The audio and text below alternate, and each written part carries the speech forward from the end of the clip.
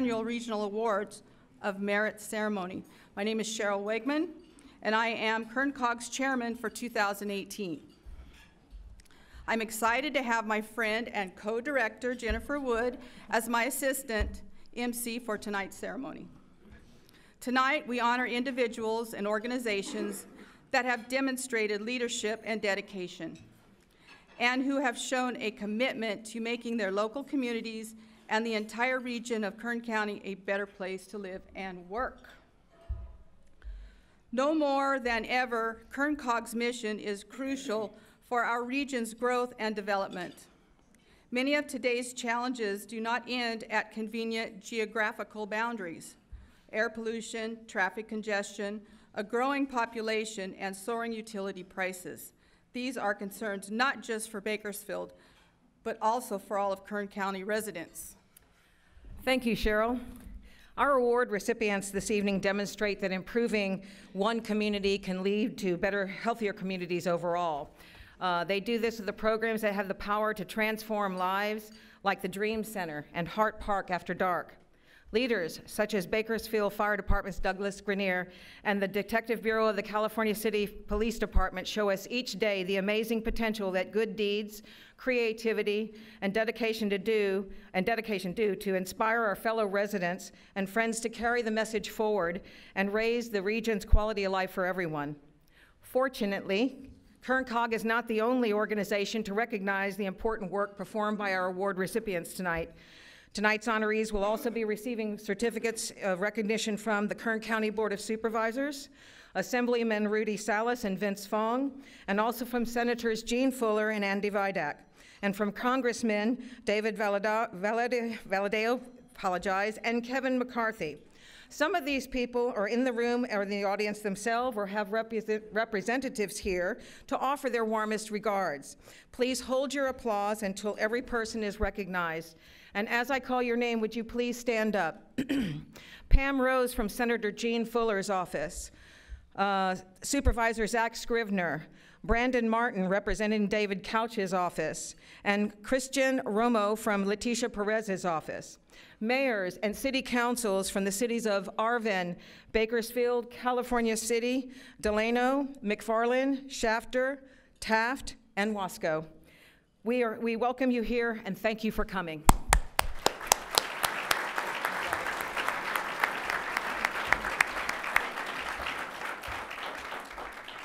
The people that really make this program successful are out there with you, behind the lights. You meet Rochelle Invina and Angie Banuelos as you checked in. They assisted with registration.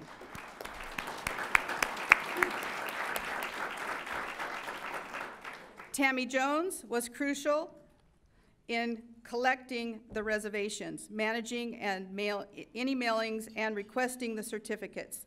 Suzanne Campbell and our new Deputy Administrative Director, Becky Napier, made sure we had a script to read and helped organize the preparations you will see tonight. Without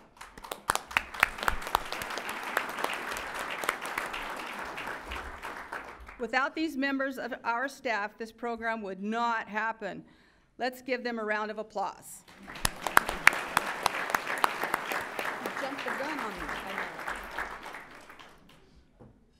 I would like to acknowledge the hard work of employees at Kern Government Television, better known as KGOV, who have helped us develop this year's presentation, highlighting the programs and individuals being honored for their outstanding achievements. KGOV.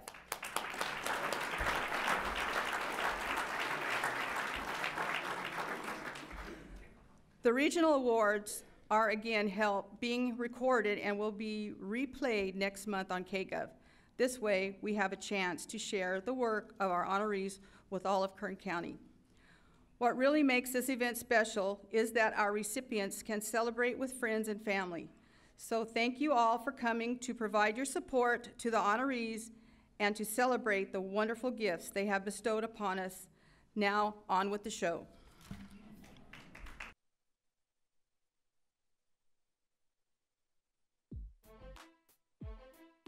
When two departments in our county come together, there is bound to be success. Hart Park After Dark is the perfect example of this kind of partnership.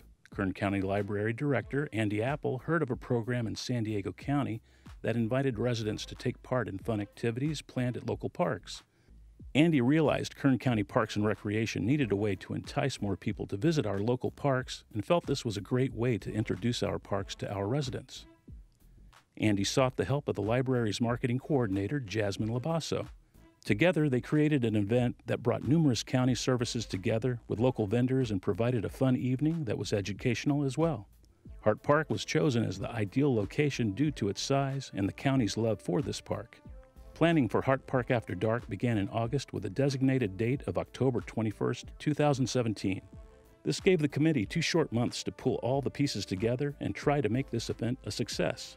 A Halloween theme was chosen given the time of year, and county departments jumped right in volunteering various activities and games. Food, music, reading corners, story time, craft tables, and costume contests were also included. The marketing of this event was critical, so the committee chose to focus its attention on social media and ended up reaching 130,000 people through Facebook, Instagram, and Twitter. The event was estimated to bring 300 to 500 guests to the park but ended up drawing over 2,000 people for this one event. Hart Park After Dark demonstrated that the numerous departments within our county know how to put an event together that can showcase the beauty of a local park while providing fun and educational activities for all ages. This brainchild of Andy Apple and Jasmine Labasso has inspired everyone involved to start planning for the next big park event.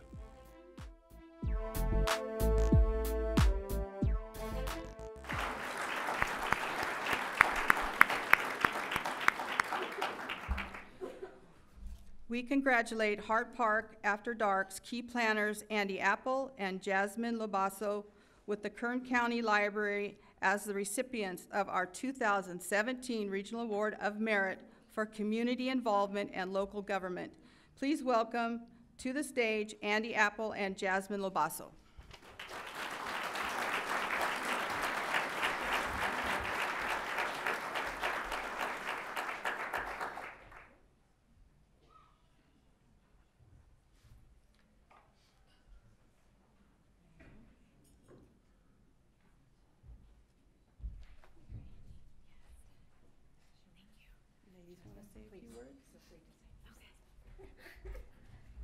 Yes, being five feet tall is probably not good for a podium of this size. anyway, I'm Andy Apple, and this is uh, Jasmine Labasso. Actually, I'm Andy Sullivan. I got married, but it just didn't officially change. Um, I'm very thankful for uh, Mr. Ryan Alsop, our CAO, who let me run wild with this idea, and how many county departments were just gung ho to get involved and show the spirit that we are as a county family. So thank you so much for this award and the recognition of all the hard work that the county employees did. This was just my idea. It was the boots on the ground that made it. So thank you.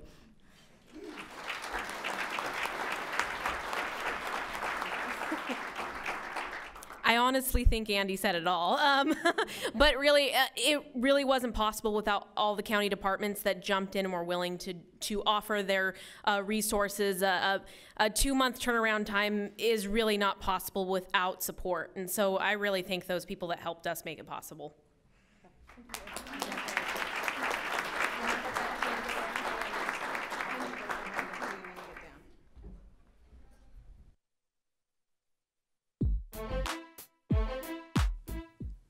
The best voices for change come from the people who need it most, and this is the most evident with our residents in the southeast region of Kern County. Building healthy communities, Comunidades Unidas Action Team consists of different community leaders and groups that address issues directly impacting the residents of this area. Issues such as green spaces, wastewater services, pedestrian and bicycle safety improvements, and housing and park investments. The residents of these unincorporated communities need a voice to help reach the key people in our community who can help improve these living conditions. That's where Comunidades Unidas steps into action. Engaging residents directly with policy and decision makers is the best way for them to be heard. Many residents in the smaller communities are not even sure where to start, which is why Comunidades Unidas is so beneficial. The team members get involved in the general plan update and help shape the county budget to incur some of these necessary changes, as well as encouraging residents to attend the workshops and council meetings where their concerns for their neighborhoods are voiced. Comunidades Unidas Action Team is a group of true leadership in Kern County and has motivated local residents in the outlying communities to show their willingness and commitment to making their communities stronger and more vibrant.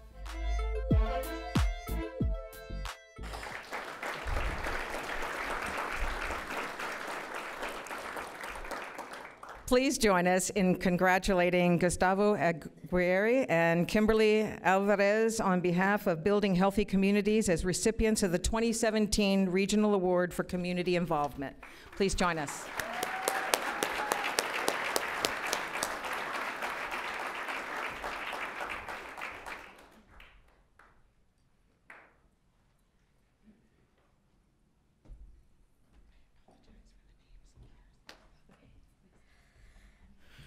Hi everyone, good afternoon. My name is Kimberly Alvarez and I am from the group Greenfield Walking Group and California Walks.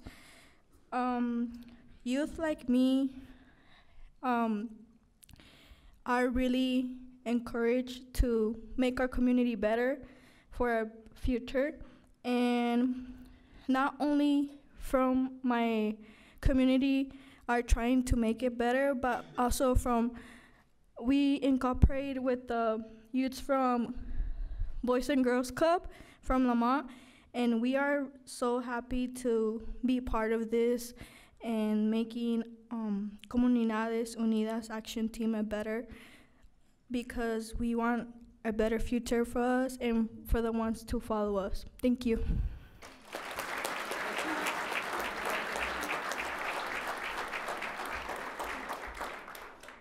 Good evening. Uh, can uh, all the uh, Comunidades Unidas uh, action team can get up just to uh, show your hands, please?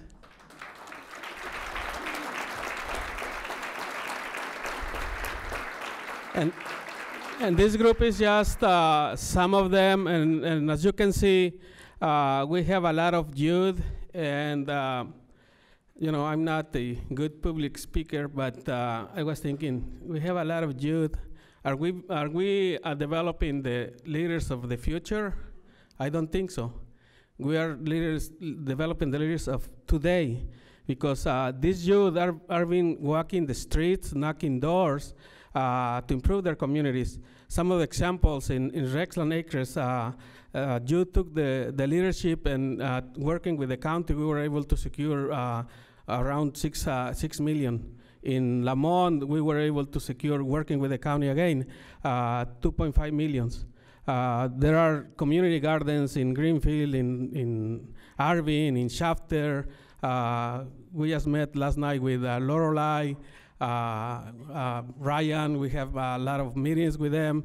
And so that's great that, uh, you know, we don't want just, uh, when we go and, and, and make comments with, uh, with government agencies, uh, we, we want to say, we don't come here to ask, you know, we have a lot of needs in our communities, but we don't, we don't just ask, we come and say, how can we all together improve our communities?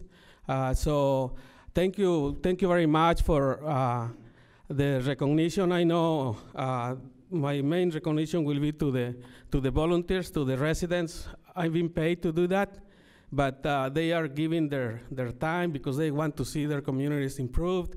Uh, and I think uh, uh that's, uh, that makes us very proud. We have groups like Greenfield Walking Group, Comité Progreso de Lamont, Comité for, for Committee for Better Arvin, Leadership Council, Central California Environmental Justice Alliance, California Walks, and just to mention some of some of the organizations and, and community groups. So, um, and as I mentioned, we work with uh, cities, with Arvin, with Shafter, in different cities throughout the county, and also with uh, with different agencies in the in the county. So, uh, thank you very much to all the agencies, all the authorities, all the elected officials that are are being willing to to uh, meet with us and and you know, put, put plans together and dream with us in, in our communities.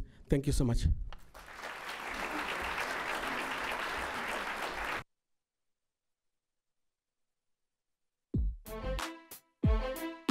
Active transportation is a perfect solution for improving the health of our communities. Encouraging commuters to get out of their cars and start bicycling and walking to work or school is a difficult task and something Bike Bakersfield, a local nonprofit advocacy group, takes very seriously. Bike Bakersfield activities span a broad spectrum of advocacy, recycling, multimodal consulting, and education. Their education classes are designed to teach safe cycling practices and to create a strong sense of community. And the monthly and seasonal activities they host, such as full moon rides and Christmas light tours, helps to bring new and old bicyclists together where they feel safe riding. Seeing these large groups of bicyclists also sends a great message to drivers that it really is easy to share the road with other modes of transportation. As an advocacy group, Bike Bakersfield has excelled in collaborating with local businesses, law enforcement, school districts, and elected officials to help increase everyone's awareness of active transportation options that are good for our air and beneficial for our physical well being. Their Recycle a Bike program acquires used bikes from the community and allows patrons to earn a bike for 20 hours of volunteer service. Volunteers work with Bike Bakersfield's bicycle mechanics to refurbish and recycle these old bikes and provide low cost transportation for people who might not otherwise be able to afford a bicycle. Partnerships with Chain Cohn Stiles, Kern Family Health, Kern Wheelmen, and Kern County Supervisor Mike Maggard, just to name a few, have enabled Bike Bakersfield to distribute hundreds of bike helmets and light sets in some of our poorest communities. Bike rodeos and safety presentations are offered by Bike Bakersfield staff to numerous schools and businesses throughout our county. The ultimate message is to encourage more people to consider multimodal means of transportation such as walking, skating, and bicycling, and pairing these modes with transit. Bike Bakersfield works diligently to transform our communities by reminding residents of the convenience and joy of bicycle transportation and offers solutions to the universal challenges of health, livability, and our environment. They have been a key player in working with our incorporated cities throughout the county on the development of their bicycle and pedestrian master plans, and the success of their hard work is witnessed with expanded bike lanes and increased community awareness.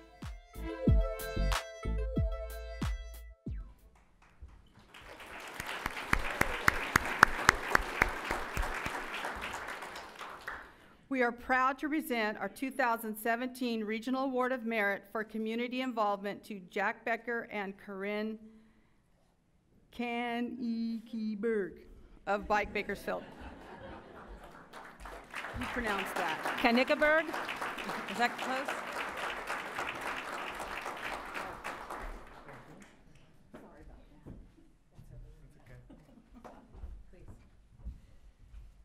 Thank you. We surely appreciate this award. Um, I've actually been around for as long as this award has been around, which is kind of awesome. I wasn't around for all of 2017 with Bike Bakersfield. I joined in April, um, taking over after Jason and then Adam.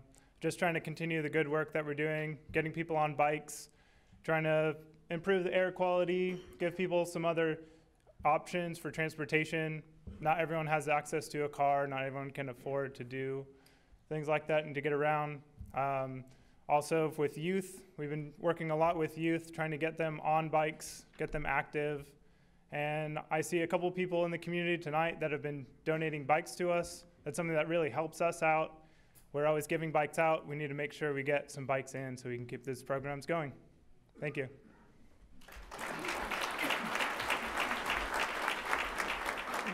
Hi, good evening. Um, Jack didn't tell me I had to talk, but thanks anyway. Um, so I work for the Kern High School District, and since July, we've been partnering with both Department of Human Services and Bike Bakersfield to provide bike safety and bicycle access to foster youth.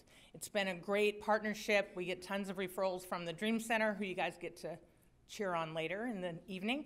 Um, and it's been a really great thing for these kids to learn that they can use their bicycle and their, their own energy to get to and from school and work. Because so many of them don't have those opportunities that a lot of the rest of us have of parents buying us cars. So, anyway, just want to say thanks to Bike Bakersfield and to the entire community for supporting all the work that we are doing. Thanks.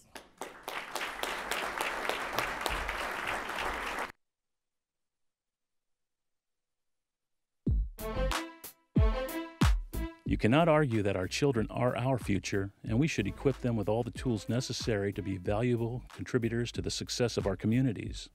For foster youth, that possibility is a bit more difficult. Once a foster child ages out of the system at 18, they are on their own. Over one third of them will not finish high school or earn a GED.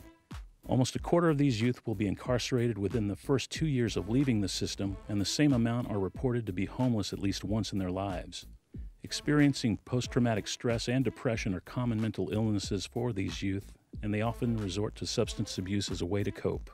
Kern County Network for Children has recognized these difficulties for foster youth for quite some time and have recently developed a solution that is indicative of its name, the Dream Center. The Dream Center is a highly innovative one stop resource center for current and former foster youth up to age 24 and has made it possible for current foster youth to pursue their dreams and successfully transition into adulthood. Once again, we witness how a collaboration of several county departments can lead a program to success. With the involvement of Kern County Superintendents of Schools, the Department of Human Services, Behavioral Health and Recovery Services, Public Health, Probation, Employers Training Resources, and so many more departments, social service agencies, and businesses throughout Kern County, the Dream Center team, members provide youth with information referral, encouragement, and advocacy services. In addition to this, youth can use the Dream Center computers, phone, fax, photocopier, scanner, and mailing services. Equally important to the menu of services is the supportive relationships that the youth develop with the Dream Center team, as well as the peer support and social connections. With no room for a marketing budget, the Dream Center functions on word of mouth alone. New youth commonly state that they heard about the Dream Center from other youth, which is the best testament of all. Operating expenses are shared by partner agencies that would allocate these services regardless of their location and services are provided in kind by Dream Team member agencies.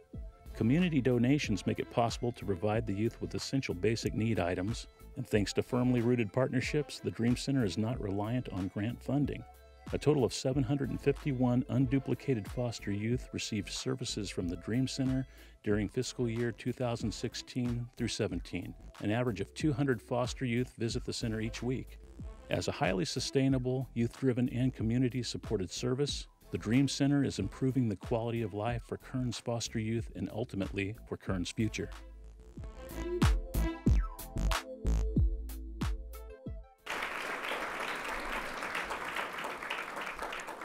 The 2017 Regional Award of Merit for Community Involvement is presented to the Dream Center. Accepting the award is Tom Corson of the Kern County Network for Children. I'm only accepting this is truly a, an integrated approach to providing services to some of our most needy kids. Uh, you heard some of the stats, but trust me, some of these kids are absolutely amazing. Uh, but we couldn't do this without the foundation, the superintendent of schools providing the facility, the county of Kern willing to step up and think out of the box in co-locating staff from multiple agencies. I think of other nonprofit organizations like Bike Bakersfield that is instrumental to our youth. Um, I look over and I see Get, I see a familiar face that makes sure every so often some day passes show up at our place. So this is truly an integrated approach to providing services to the kids that are most in need. And I thank our community for stepping up and giving these kids a voice and an opportunity to succeed. Thank you.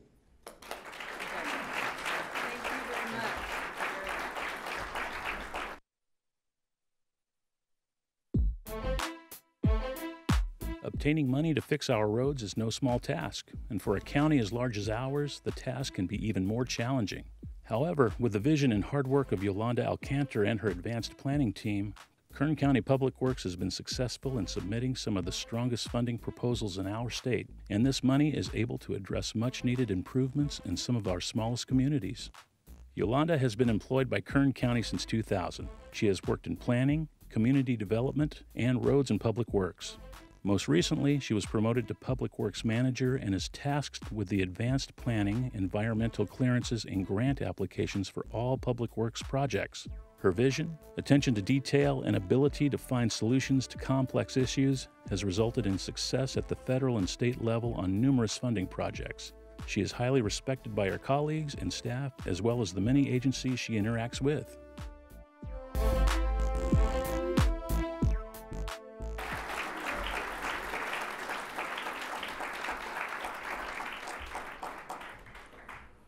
We are proud to present our 2017 Regional Award of Merit for Transportation to Yolanda Alcantar for her Public Works Advanced Planning Team. Congratulations. Thank you. I feel truly honored to receive this recognition from Kern COG. And if it wouldn't have been for the support of the Kern County Public Work Directors, Craig Pope and Lynn Brooks, this wouldn't have been possible. Uh, I've thrown some crazy ideas out at them and they, they're like, you want to do what? But they, you know, still support me in the effort. Um, our public works staff works really hard.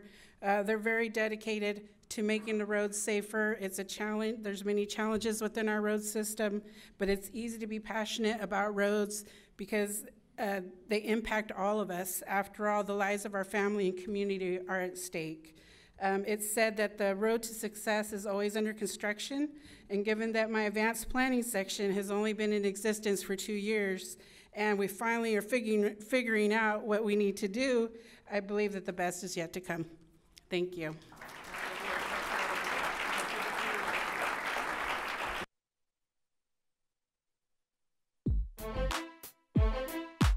In the late 1990s, the city of Bakersfield recognized deficiencies along State Route 178 and started planning on ways to improve it along the interchanges of Fairfax Road and Morning Drive.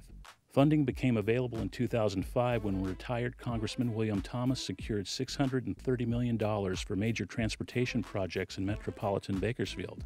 State Route 178 was just one of many projects to benefit from this funding. To manage these funds and projects, a collaboration was developed between the City of Bakersfield, County of Kern, Caltrans, and Kern Council of Governments, known as the Thomas Roads Improvement Program, or TRIP. This multi agency partnership approached the concerns of our local road projects from diverse viewpoints and worked as a team to find the best, most cost effective solutions that could expedite project completion. TY Lin International was selected as the designer of the State Route 178 project at State Route 184 and local business Granite Construction came in as the lowest bidder as the project contractor. Since TY Lin also designed the 178 Morning Drive interchange, they were able to coordinate design plans to eliminate potential throwaway work, ultimately saving taxpayers' dollars. Plans were quickly underway to expedite an accelerated schedule that required close coordination between all parties involved. The true miracle was accomplishing this with all of the roadblocks along the way. Throughout the process, the team was required to make several design refinements. There were issues with utility relocation because of limited right of way. The age of the highway added to difficulties of relocating utilities. Approximately 700 feet of water line had to be modified and relocated, and the discovery of an 8 inch gas line, which had been installed within 2 inches of the pavement structural pavement, caused additional impacts. Then there was the poor soil properties in that area, which caused the construction equipment to sink and not to mention the environmental concerns of the endangered San Joaquin kit fox. Mitigation and monitoring had to occur throughout the construction process. All workers were required to attend threatened and endangered species training prior to working on the job site. And finally, the city had to pay into the Metropolitan Bakersfield Habitat Conservation Program for loss of potential habitat for these kit foxes. The team met on a weekly basis to address the construction challenges and resolve any issues, and because of this commitment, the project was completed on time and within budget. It's not very often that a local roads project receives national recognition, but the City of Bakersfield is proud to share that the Thomas Roads Improvement Program State Route 178 widening project was recognized in the Roads and Bridges magazine as one of their top 10 roads in America in 2017. Quite an honor considering the magnitude of this project and the hurdles that had to be overcome in order to complete it on time.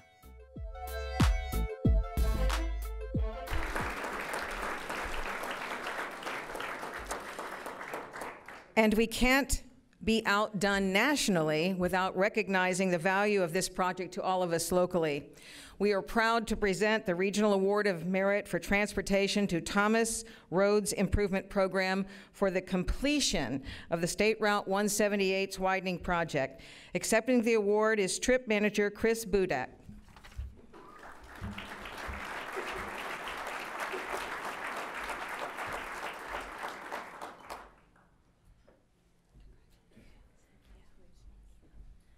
Well, that was pretty much my speech. So um, I'm just supposed to say thank you and walk off. Um, I, I, do just want to add that this was a, an exciting project because um, they, they said it was a 178 widening project, but it really was just a utility relocation project with a little bit of pavement on the sides. Um, we spent many months looking for utility or moving utilities, finding utilities we didn't think were there. Utilities that we knew there were there were in the wrong spot. They were actually in conflict. So it was it was uh, a lot of effort between the designer, Granite Construction, and our um, NV5 was our uh, construction management group. Um, we did ask Palm Water. I don't know if you've ever heard of Palm Water. It's a real small district. We asked them to come find their utility one day, and three guys showed up with shovels. So we had a lot of interesting interaction with our group out there. Um, it was a great project. Glad to be part of it, and. Trip is still doing a lot. Uh, you can see us on the roads pretty much everywhere from Truxtun to 58 to 99. And um, we just hope we're improving transportation within City of Bakersfield and everybody appreciates uh, when it's done, being able to drive on it and being more efficient and getting from, from one place to another more quickly. Thank you.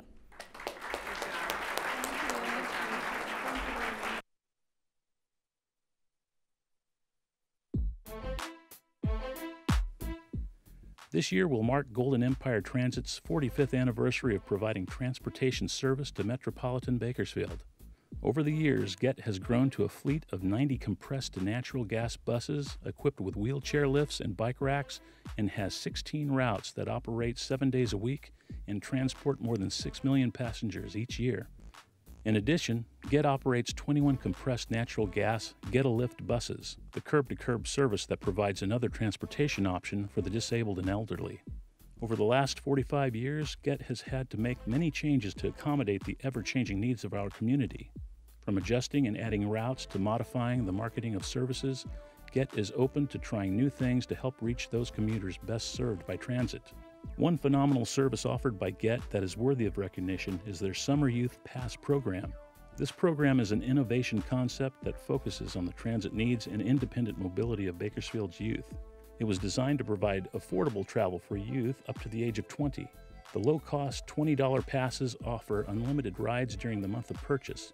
This service has seen incredible growth during the months of June, July, and August, which is a notable time for ridership to decline due to summer vacations. These passes help offer transportation for youth who are attending summer classes, working summer jobs, or just enjoying their summer off at the movies, gym, or mall. Get recognized the need of their younger ridership and created a service that would best suit them.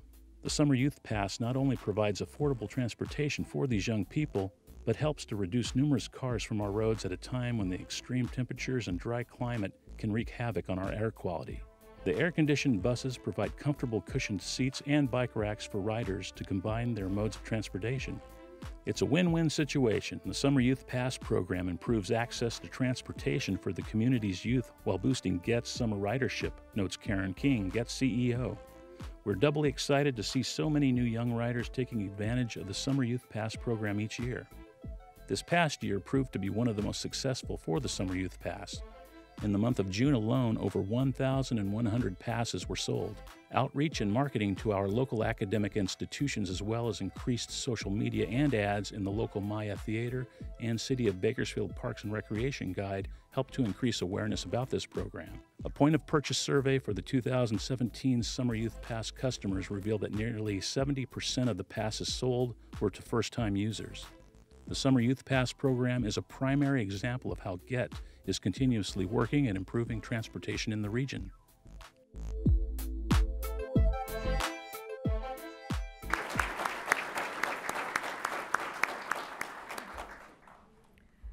The 2017 Regional Award of Merit for Transportation goes to Get Buses Summer Youth Program. Accepting this award is Get CEO Karen King and the chairman of GET's board, Cindy Parra.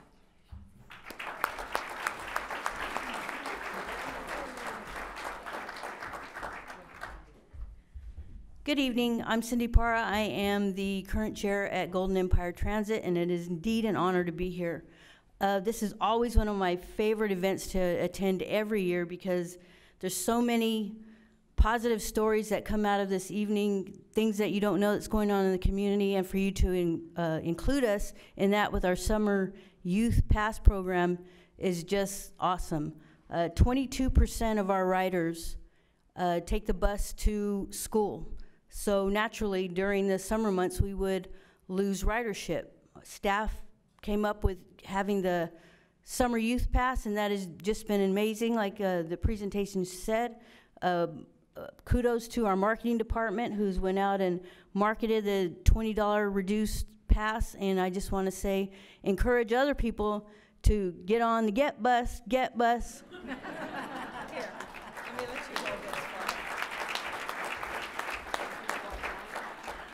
I can't top that, but I would like to uh, specifically recognize Albert Garza and Braulio Mendoza on our marketing team. They actually go out in person and recruit youth to ride the bus, uh, talk to people one by one, and it's great to see new young people taking public transit, and we hope they'll continue to be riders. This past year, one of the things that really made a difference was we upped our social media presence, and I can't say enough about that and how much effect that has had on attracting particularly younger people to ride public transit. So thank you for this recognition this evening. Uh, it really goes to the staff.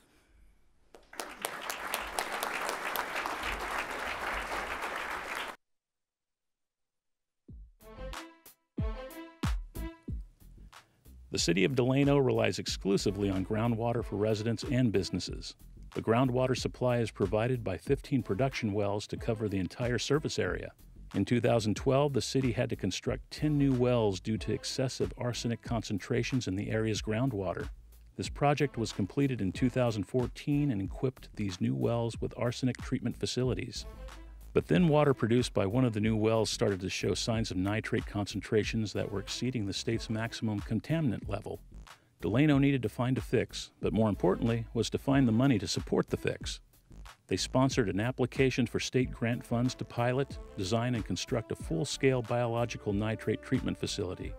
The three year project consisted of a 10 month pilot study, design, construction, and permitting of the full scale demonstration facility, operation of the demonstration facility for 12 months, and dissemination of the project's results.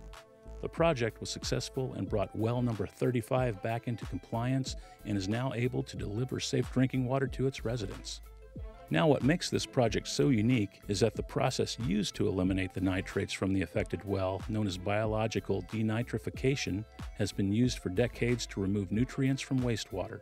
Transferring the technology and altering it somewhat to be applicable for fixing the problem with well number 35 was a bit complex, but something the city was willing to invest in.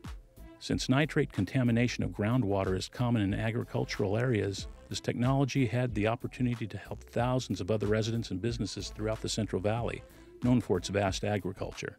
The city of Delano showed great innovation and leadership by using the Prop 50 state research money to fund this project.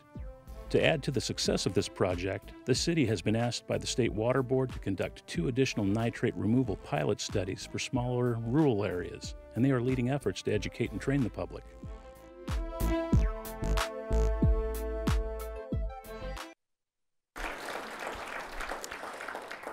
The 2017 Ken Volpe Regional Award of Merit for Environmental Resources and Conser- Conservation is presented to the City of Delano's Wellhead Nitrate Treatment Demonstration Project.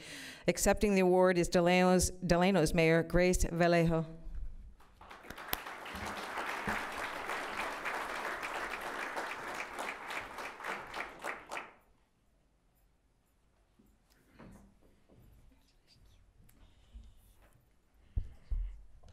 I'm like the other short person. Um, and I have heels on. Uh, somebody said, yes, she does. you know, uh,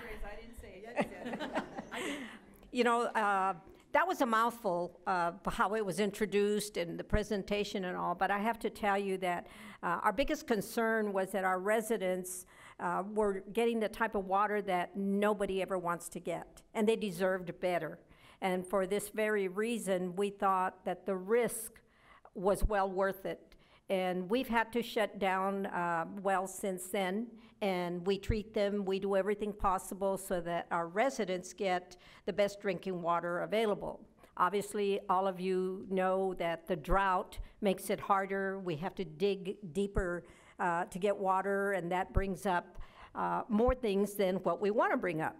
Uh, but we were very fortunate that Carollo, and I did drag Penny up here because she is from Carollo. The Biottta project, this was their baby, and we were willing to uh, have it done in our city on well 35. And it is so successful that, as you heard, we're going to uh, do the same thing again in a couple of other wells. So I encourage anyone that is having issues with their water to check into the Biottta project, as we call it. And uh, for that, I thank Penny. Penny, if you'd like to come up and say a few words, because Carollo was their baby. Uh, Thank you. My name is Penny Carlo. I'm with Carollo Engineers, and uh, we are the design engineer for the uh, Biottta facility. And I uh, want to thank the Council of Governments for awarding this to the City of Delano.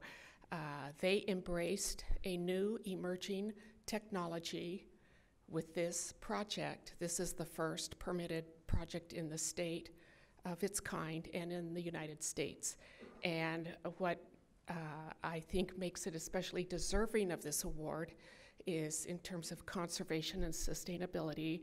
Uh, the process removes nitrates from the groundwater without uh, creating a brine stream that has to be disposed of, and it is also not requiring salts uh, to run the process. So it's uh, energy, um, you know, it's energy uh, efficient, and it's not producing costly wastes that have to be disposed of in order to produce a clean drinking water for the residents of Delano. They embraced this project. Uh, it involved all uh, members of the community and in all levels of uh, the city and departments. It was a true team effort to, um, you know, implement this from all um, aspects of the project and in, uh, partnering with our state regulators. And um, I think it's very exciting that they have a treatment plant now that is producing clean water that the residents are drinking. It is also a educational facility and uh, it's available for tours if anybody wants to come and see it and um, you know to further the education of this technology and i want to thank the city of delano again and the council of governments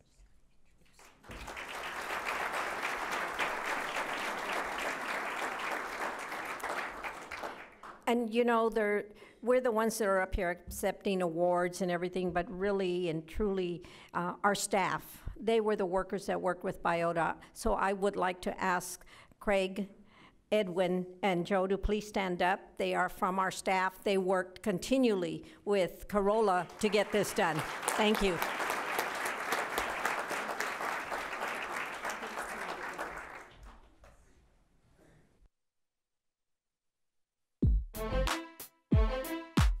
Most little boys dream about growing up to be a police officer, but down the road they change their minds and take a different path. Not so for Edward Whiting, Chief of Police for Taft. Ed Whiting has dedicated over 35 years to law enforcement. Ed began wearing a uniform long before entering the academy when he served his country in the United States Air Force as a member of the security police. He started his public service with the City of Taft Police Department over 32 years ago. He transferred from the City of McFarland Police Department and quickly promoted up through the ranks at Taft, obtaining senior officer status in 1989, police sergeant in 1990, lieutenant in 2008, and his current rank as chief in 2012. During most of his early years with the city, he served as the narcotics investigator for the department, developing an expertise in narcotics investigation that allowed him to serve the local courts as a certified narcotics expert. In 1988, he was named Officer of the Year. Ed has proven passion for his profession that truly exemplifies all things law enforcement, and it is believed that this passion started with his father, William E. Whiting. William was well known for his groundbreaking communications accomplishments, so much so that the Kern County Communications Center is named after William E. Whiting. Ed emanates his love of his community through his participation as a range master and his membership on the Kern Chiefs Council, Office of Emergency Services, and the Street Interdiction Team for the county. Ed also holds a seat on the WESTEC Board of Directors and is a member of the Kiwanis Club of Taft. Some of the more rewarding responsibilities for Ed was being a part of Shop with a Cop, the annual 911 series at Kern County Raceway Park, the implementation of local crime mapping, and Coffee with a Cop. He strongly believes in service along with supporting his officers. He insists on qualifying at the shooting range with his officers, and every year he shows up to work and sends officers home on Christmas Day so they can enjoy the holiday with their families as he covers their shifts. And you may think that serving for the wonderful community of Taft would not come with some interesting stories, but it's been said that Ed has a few of his own. He contributed on the murder for hire case from San Francisco that had ties to Taft and was able to assist with the Jeffrey Dahmer case while visiting back east. The most impressive stories are when he has assisted local parents who might be struggling with wayward children by providing stern talks, rides in police cars, and visits to the local jail. Ed excelled at providing his own kind of scared straight program for the community of Taft.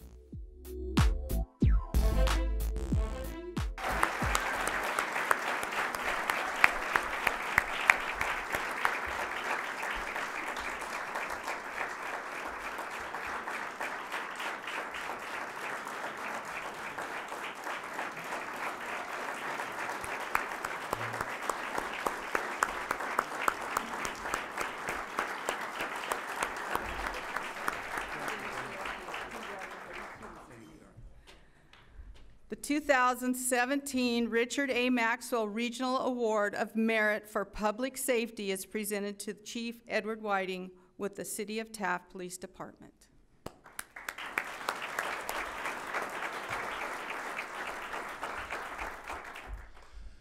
Thank you very much. Um, one of my favorite presidents, Ronald Reagan, once said that some people spend an entire lifetime wondering if their lives made a difference in the world. Well, after my retirement party, which was really great, by the way, last Saturday, and tonight, now I don't, now I know too. Um, I would like to thank the Kern Council of Governments tonight for this very awesome award and for all the collaborative support for all of us here in this room tonight. I would be remiss if I didn't thank everybody at the City of Taft, from the elected officials, the mayor, and the city council persons that are here tonight, especially, to all the city staff from the city manager uh, down to the assistant city manager and human resources and finance directors, and all the city staff at City Hall, and of course the staff at the police department, my administrative assistant, uh, my command staff, captain, lieutenant are here tonight, the officers and the sergeants, and all the support personnel at the city of Taft. Uh, none of this could have occurred over the 30 plus years without their support and their very hard work, and for them, I'm very grateful to all of them. And last but not least, I also need to thank my wife of 30 years, Robin. Um, she has endured quite a bit over that lifetime, uh, from the many different call-outs, the investigations, the surveillances, uh, a couple of officer-involved shootings, um, lots of press coverage, uh, and she's endured all of it like a trooper, and she's also my best friend, and I couldn't thank her nearly enough for all those years. And thank you very much.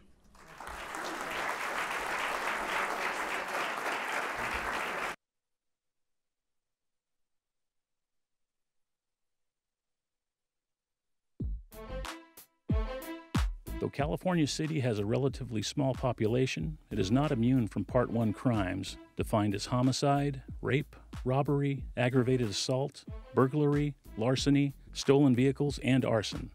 Between November 15, 2016 and the same date in 2017, the Detective Bureau recorded 512 Part 1 criminal cases. The Detective Bureau is manned by Sergeant Shannon Hayes, a 13 year employee, and Detective John Boston, a 4 year employee.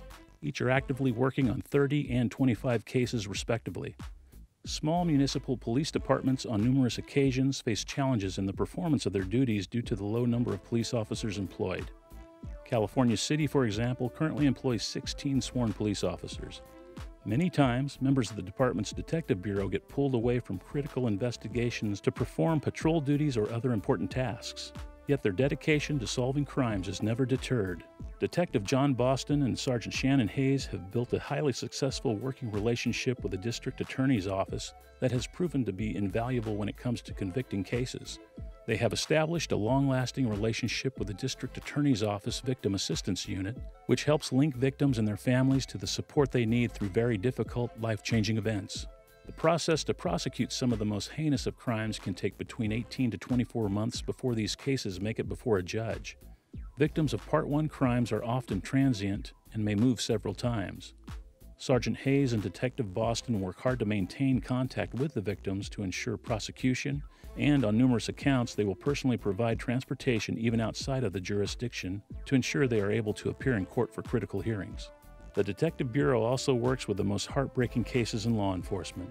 The abuse of a minor child, spouse, partner, or murder cases, all of which are handled with the greatest compassion, can at the same time leave deep emotional scars. Victims of these crimes don't trust many people, let alone law enforcement. However, their team builds and maintains that trust. In one case, there was a six year old boy that was a victim of a family member. Not only did Detective Boston drive out of county on a handful of occasions to make sure the young boy and his mother were able to attend important court hearings, but on the day the young boy was required to testify, Detective Boston coordinated with the boy's mother and wore a matching dress shirt and tie to court so the boy would feel like he had a friend in the courtroom with him. In another recent case, a woman was badly beaten by her longtime boyfriend in front of their two small children. She was in need of a medical exam that would enable her to be treated and would also provide valuable evidence for the prosecution of the person responsible for her injuries. Sergeant Hayes drove her and her children to the hospital, and while the mother was in the examination room, he stayed with her two little boys and kept them safe. He held them, read stories, and played blocks with them to keep them distracted while their mother was being cared for. Deputy District Attorney Christopher Puck says he has nothing but respect and appreciation for Sergeant Hayes and Detective Boston. DDA Puck is assigned to prosecute violent felonies in East Kern County.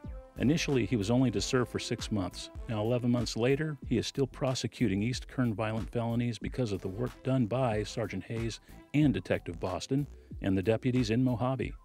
DDA Puck cited the work done by a tight knit team as a successful model in the prosecution of these cases. He stated that he would not be able to prosecute without their dedication to the victims and their cases. The District Attorney's Victim Service Unit is the third element to this team. Vanessa Anderson is the Victim Services Specialist serving the East Kern County area. DDA Puck said this team is a great example of how to build good cases for prosecution, investigation, sound report submission, and victim support. While investigating new cases, the Detective Bureau also maintains contact with the families of older unresolved cases. In March of 2017, Sergeant Hayes, Detective Boston, and Vanessa Anderson organized a candlelight vigil to remember victims and asked the public to come forward with information that might help them locate the perpetrators of these crimes.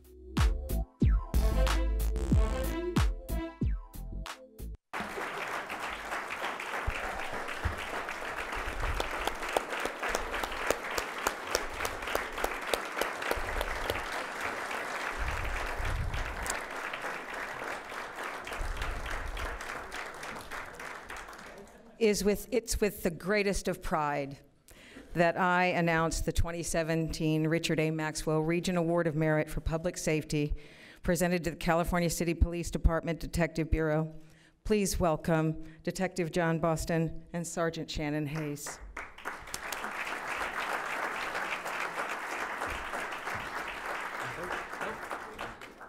First. Sorry, another short person here. Um, um, yeah, I don't know what the big deal is. I mean, it's kind of interesting you get an award for doing your job. Um, but anyways, uh, some people to thank. First off, I do have to thank my beautiful wife, Jessica. Uh, she's, as Chief Whiting said, endured a lot um, through military deployments, SWAT callouts, detective callouts, endless shifts. Um, she's endured a lot and, as a trooper. Um, some mentors that helped me along the way um, through my career. I have to thank them as well. Um, one I, guess I just saw was a former uh, recipient of this reward of award, uh, Steve Colrick, um, Ron Bell, um, Jeff Takeda, um, current Lieutenant uh, Frank Huizar. His leadership and mentorship is invaluable. Um, so, and John that I can't ask for a better partner. Uh, your dedication is, uh, is unbelievable. So appreciate it. Thank you.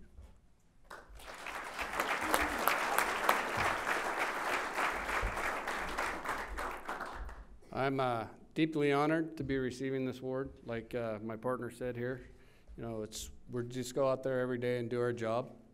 Uh, our department is very small. We're extremely overworked and have tons of cases. Um, we work to the best of our ability. Sergeant Hayes here, my little partner. Um, you know, he, between the two of us, there's many, many nights to where we just, you know, we'll go to work on Wednesday and we'll come home on Friday. Um, we've pulled 72 hour shifts um, to get cases filed. Um, I don't know if you guys have known or have seen in the papers in this past week alone, we've uh, arrested two homicide suspects that are currently being arraigned today. Um, or were arraigned yesterday. Um, you know, like Chief Whiting, my sergeant, I want to thank my wife, my daughter over there. I spend many, many hours away from home. And uh, without them supporting me, you know, this would be very, very difficult. I also want to thank the mayor, City Councilman Gomez. Um, they too are, are very supportive of us. So thank you.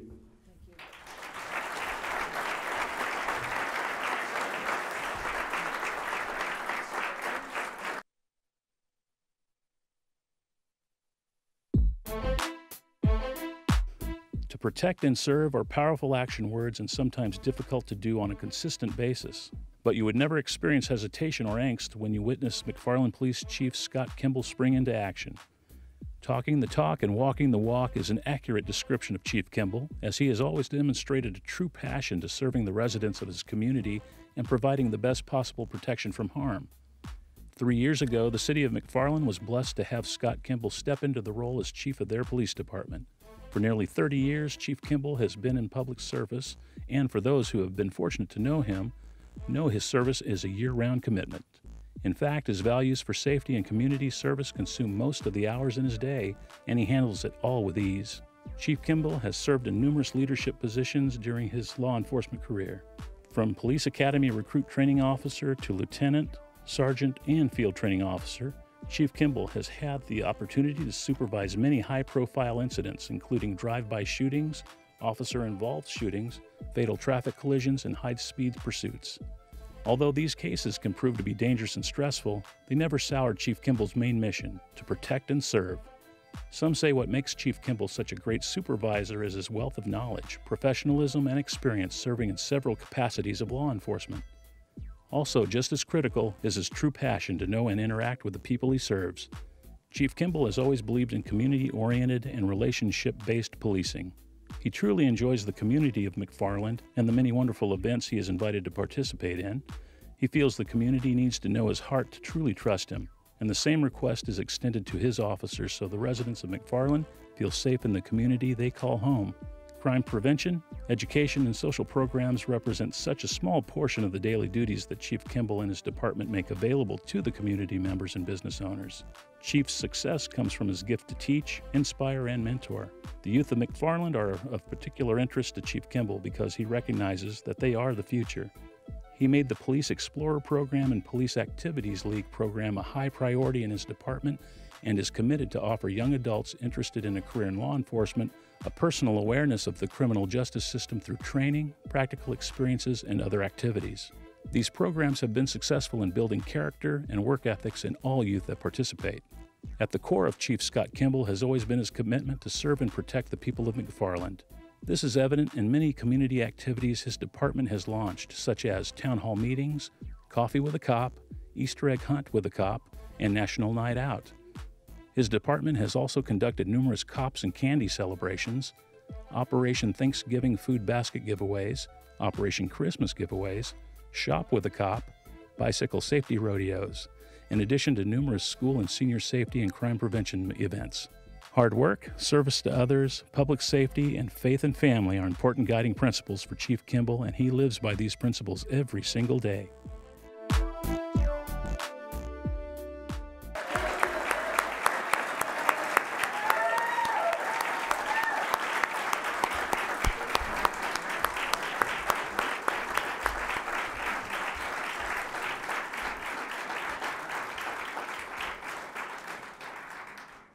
2017 Richard A. Maxwell Regional Award of Merit for Public Safety is presented to McFarland Police Chief Scott Kimball.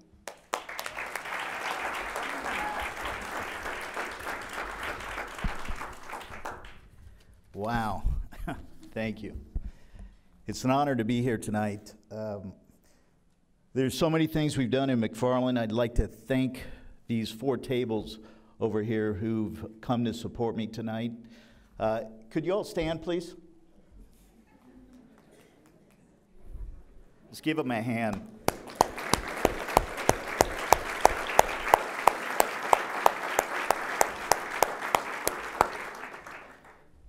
I'd like to thank our mayor, Mayor Manuel Cantu, our city manager, John Wooner. He couldn't be here tonight. He's unfortunately sick. That flu bug is still going around, and, and um, he'd like to be here, and he expressed to me to make sure that I told everyone that he was sorry that he couldn't make it tonight. I'd also like to thank our council members who are here in attendance tonight, and a couple of them couldn't make it, but I know they would be here if they could. And I have many city community members here, staff members from the police department, and friends, and I'd like to thank you all. When we talk about policing today, I think it's really, really important that we understand that there's some challenges that weren't there in 1989 when I started in police work.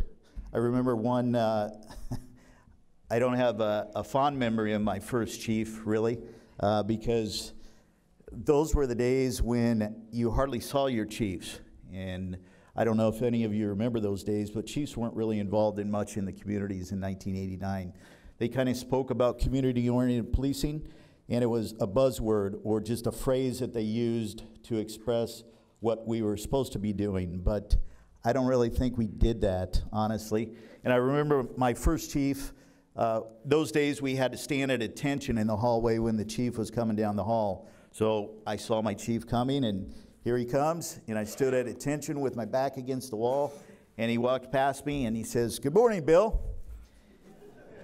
And I thought, well, I can't look around because I'm supposed to be at attention, but I didn't see anybody else in the hall here.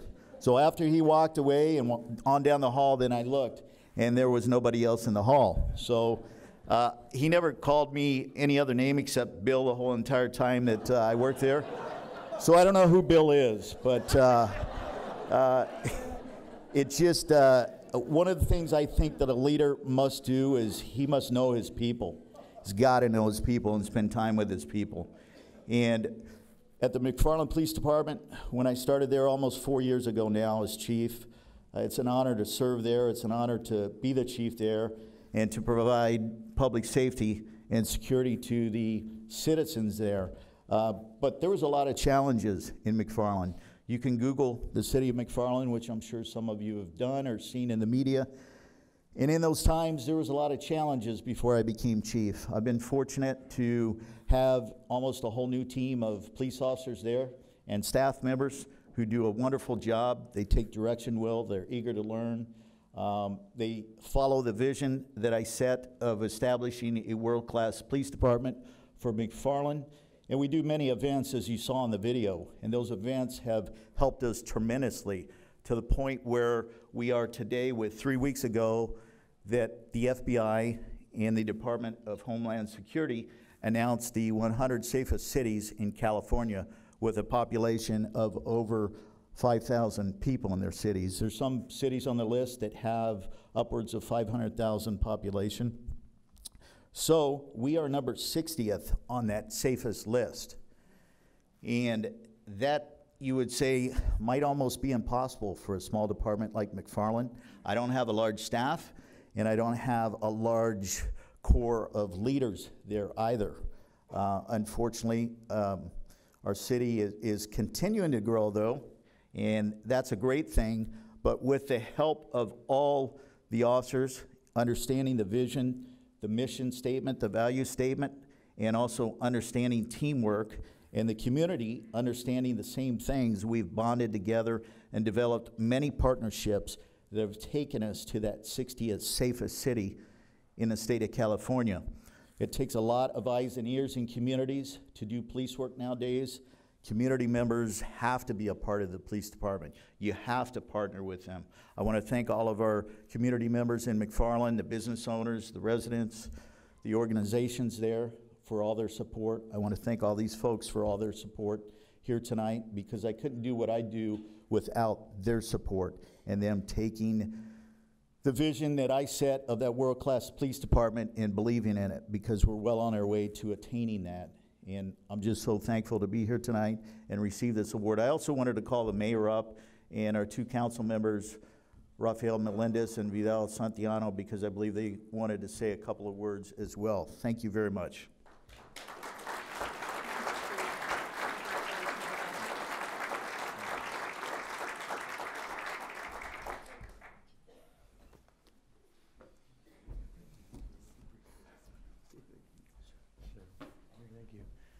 Anyways, I know one of these is working. Um, I want to thank uh, Chief, and like he said, um, uh, it's great when you can find great leaders, and then you give them the opportunities, give them the tools to do what they have to do in keeping our city safe.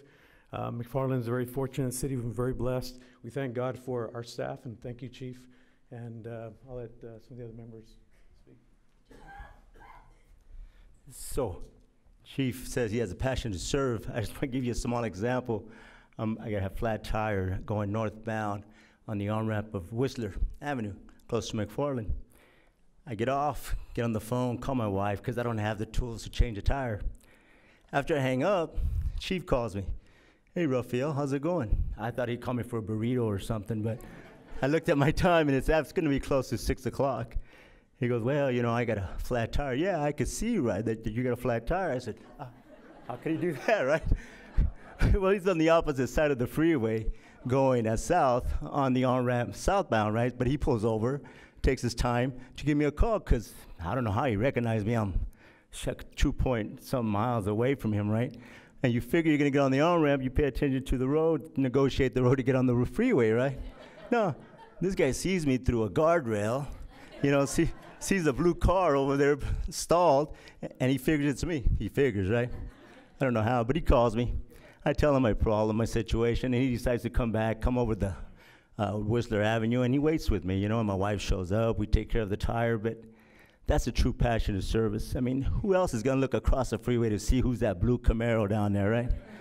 and pull over and call. Not too many people call, right? They usually go by, ah, oh, he'll be fine, you know. Uh, he, has got a cell phone, you know, he'll call for help. Somebody will come by, but he didn't. He didn't he came around. Actually, he reversed backwards on that right? But he did. He did. So that's his true passion of service. Hey, man, it is what it is, you know. yeah. But that's his true passion of service. And even though it's a small thing, he took the time to check out the situation, and that's true service in, in my book. And I appreciate that. And thank you, Chief. Great.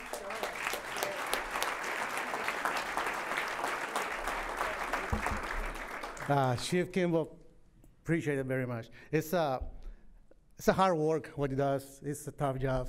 He's been doing so good. I mean, we're lucky enough, like the mayor said, and Chief said it also. McFarland's been a small community. We're growing. We got a good vision. We got the right group of people from top to bottom.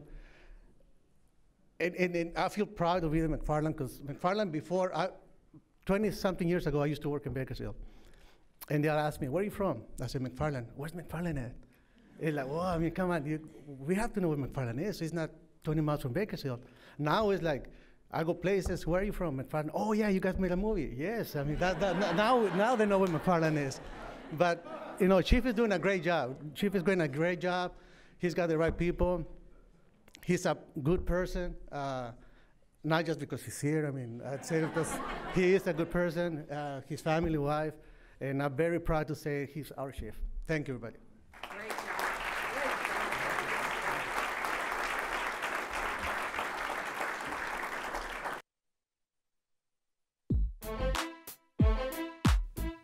Regional Award of Merit for Innovation is a relatively new category for recognition, first introduced in 2014. It has only had two recipients before tonight. Although a tough category to fill, its importance with the insurgence of technology is all that more important. Technology is influencing our lives in numerous ways, and the city of Bakersfield recognized this power and is using it to be more transparent and comprehensive for its residents.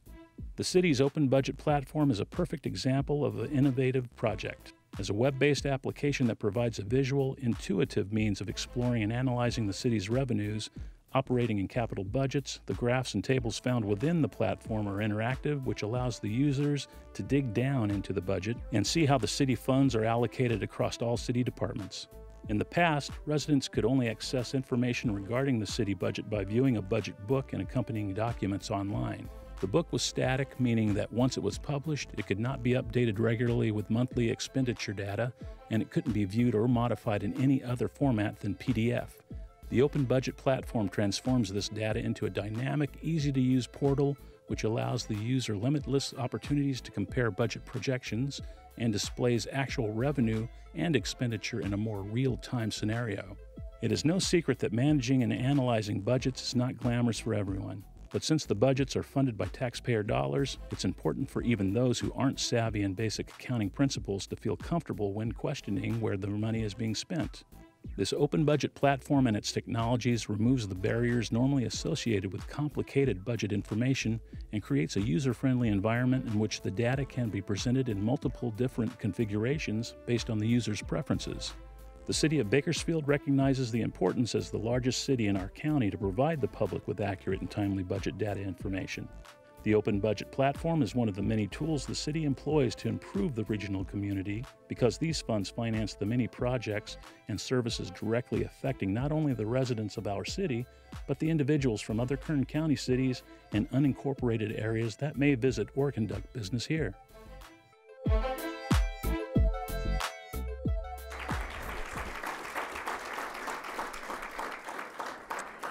The 2017 Regional Award of Merit for Innovation is presented to the City of Bakersfield for their open budget platform. Accepting the award is Assistant City Manager Chris Huot and Assistant Finance Director Randy McKeegan.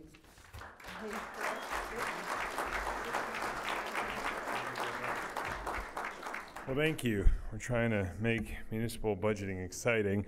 Uh, with that, I just want to thank a couple people real quick. Aaron and his staff and the Kern COG board, thank you very much. Uh, our city council, some of the members are here this evening for supporting and uh, helping us uh, with getting this project going and, and seeing it through.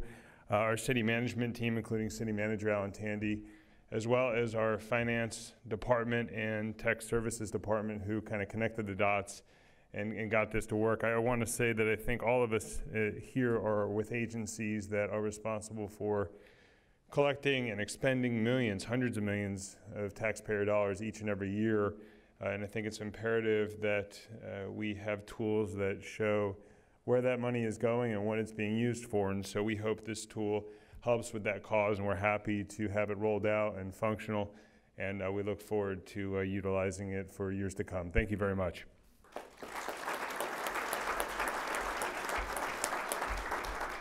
Tough act to follow after the important showing of the important work of law enforcement to, to, to really point to an icon on our website to, that really delves into our budget. But um, I really appreciate the Council of Governments uh, recognizing our uh, efforts to improve transparency for the citizens of the city of Bakersfield. I would be remiss also not to, to, to miss out on thanking Sandra uh, Jimenez, the former assistant finance director, who really took the, to use a football analogy, she took the ball to the red zone and I sort of just walked it across the goal line. So I really appreciate her, her help on that as well. So thank you very much.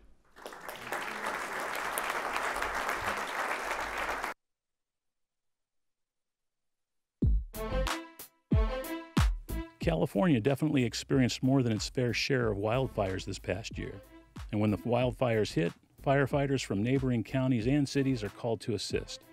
Bakersfield's central location puts it in a prime spot to help numerous fire stations throughout our great state, and we are proud to step up and serve.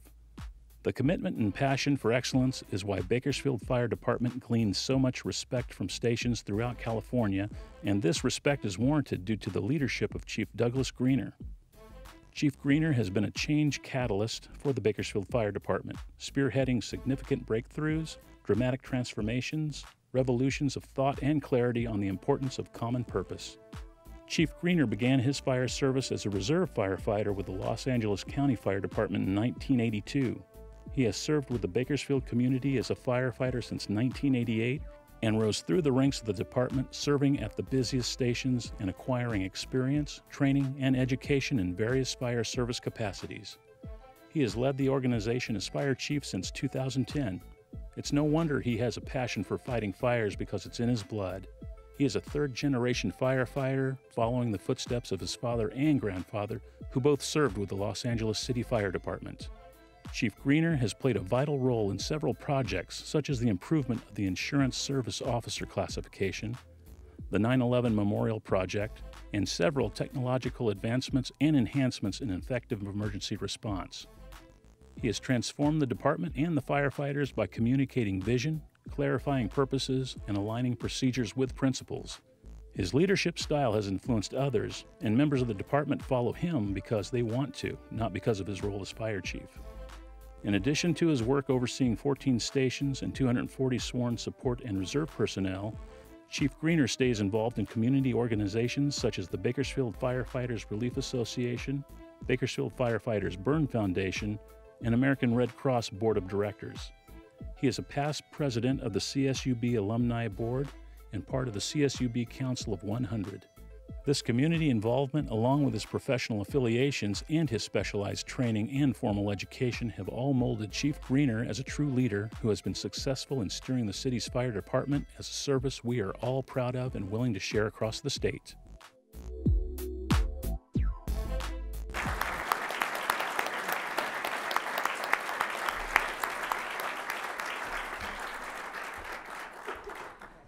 2017 Daryl Hildebrand Regional Award of Merit for Distinguished Leadership goes to Chief Douglas R. Greener of the Bakersfield Fire Department. Congratulations.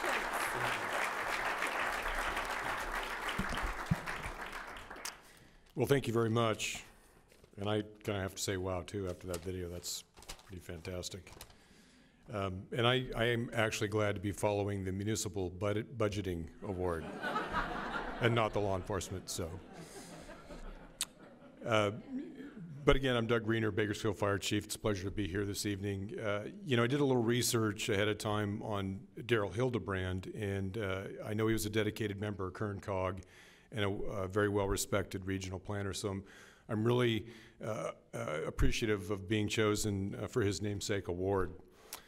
Uh, you know, and, and, this is not going to be news to anybody because I know there are a lot of leaders out here in this audience, but uh, leadership is a, is a difficult proposition. Uh, so it's an honor to be recognized for distinguished leadership. Uh, you know, although I'm truly convinced that uh, whatever success we've had is more about our team effort, so I have a lot of people to thank. but I have made a few observations during my tenure as fire chief um, about the most effective leadership tenets that we've used to successfully support the fire department's mission. And I've kind of boiled it down to three uh, main categories uh, that we lead under. Uh, we lead by example. Uh, you know, if you expect dedication, be dedicated. If you expect accountability, be accountable. If you expect fairness, be fair. And if you expect professionalism, be professional. There's some of our golden rules uh, the do as I say and not as I do model is an organizational morale killer, and we avoid that. Uh, all the fire department chief staff uh, lead by example and through role modeling, and it's been a successful strategy. We also are very fortunate to lead with the best people, and when you have the best people, it makes leadership a little bit easier. Uh, the BFD has the finest firefighters and support staff risking their lives every day to support the community or in support of that mission. And we have the finest uh, chief and administrative staff officers, uh, including Deputy Fire Chief Ross Kelly, who's here with his wife, Deputy Fire Chief Tyler Hartley, who's here with his wife tonight, uh, Battalion Chief John Frando, who's here with his wife as well, and who is our Community Services Officer, uh, all leaders in their own right. Uh, BFD nonprofit groups, they do uh, outstanding uh, work in this community throughout the year, supporting other charitable organizations, either through direct contributions from our firefighters or uh, by fundraising uh, directly for those uh, organizations, and, and they make us look really good as well too. And, and you know, there, you don't hear a lot of positive feedback these days about labor organizations, um, but the Bakersfield Professional Firefighters 246 is the exception. Um, th- this group is the most professional uh, board I've ever had the pleasure of uh, sitting at the negotiation table with. Uh, I was promoted to fire chief at the uh, at the apex of the recession, and in the almost eight years since, um, when when the BPF members have been asked for concessions to help uh, the city continue its mission, um, they have never once said uh, we we can't or we won't. Um, so I, I really appreciate their sacrifice and, and their their dedication. And I'd just like to recognize BPF President Nick Polos, who's here with his wife as well, too. Uh, thank you very much. Really appreciate that. Uh, and of course, we have, uh, you know, uh, amazing support uh, from our city manager and staff, uh, our city council, our mayor, and, and our community at large. Uh, leaders and organizations are nothing without quality followers and adequate support. The fire department's uh, blessed to have both. Um, I'd also like to thank my wife, uh, Lori, uh, who is the uh, at-home chief and leader, for her behind-the-scenes support as well. I couldn't be the fire chief without her support. And finally, we lead with mission focus. You know, it's not about the leader or leadership; it's about the mission. We support those engaged in pur- purposeful duty. Uh, we show the right way to get the job done and we allow good people to do good work. Uh, I didn't become the fire chief to build my res- resume or showcase myself, although I feel a little bit like I've done some of that here tonight. Uh, I'm first and foremost a firefighter, uh, and I've only ever wanted to lead the finest fire department. And I've been very lucky to have had that privilege. Uh, so again, thank you, and a special thank you on behalf of the men and women of the Bakersfield Fire Department to the Kern Council of Governments. Thank you.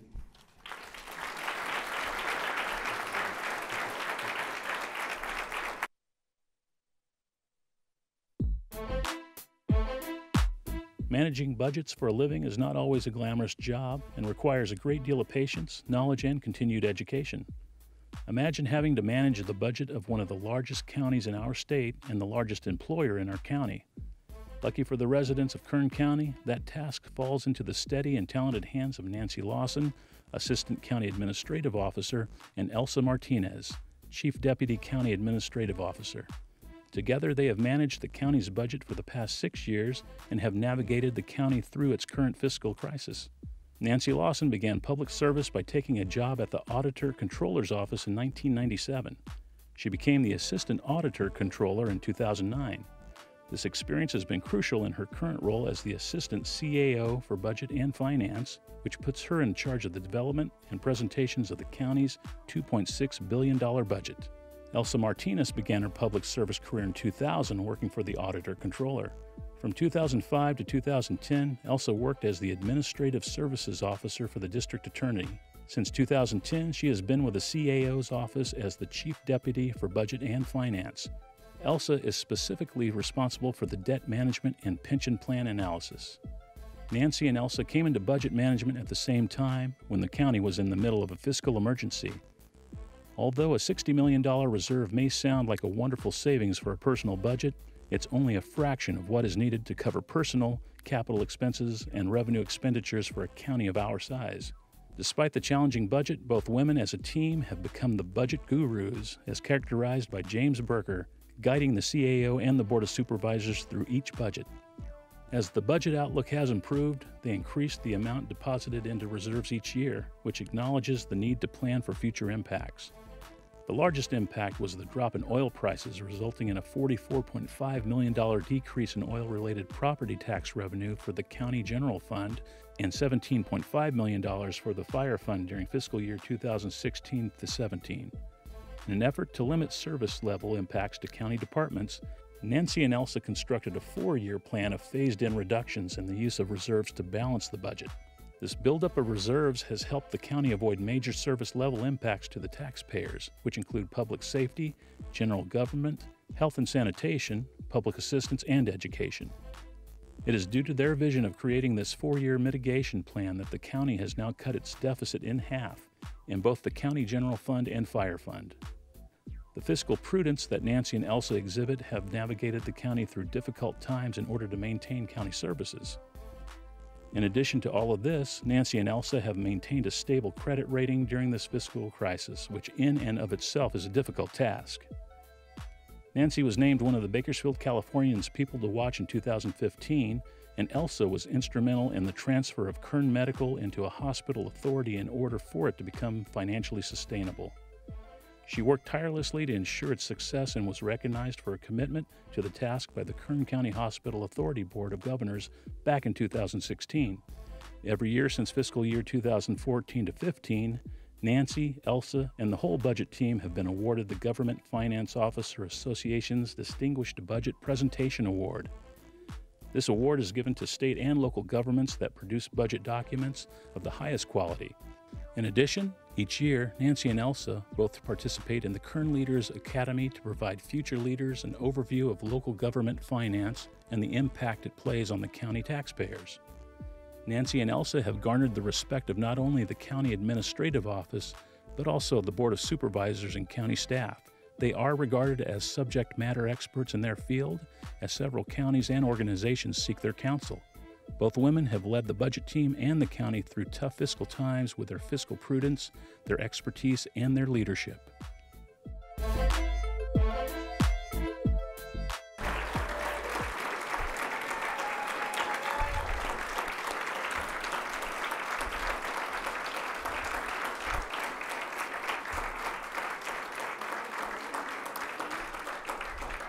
It goes without saying, we are proud to present our 2017 Regional Award of Merit for the Darrell Hildebrand Distinguished Leadership Award to a public group to Nancy Lawson and Elsa Martinez of Kern County's Administration Office.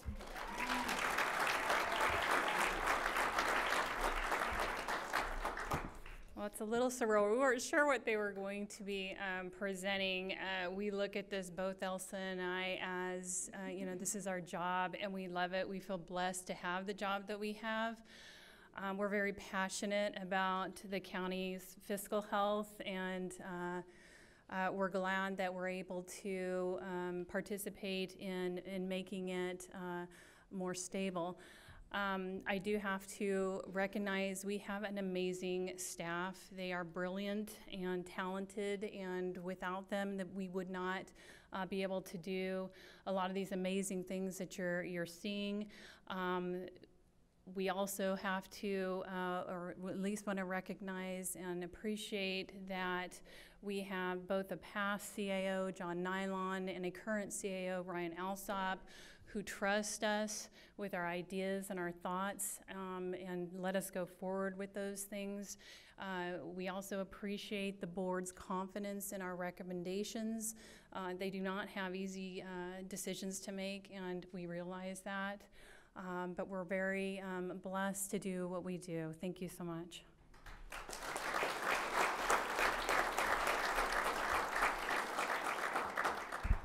Five two. It is a great honor to receive an award for the work I love to do. I want to thank those that do all the hard work, our county leaders, employees, under the leadership of our Board of Supervisors and our boss, uh, Ryan Alsop. Thank you.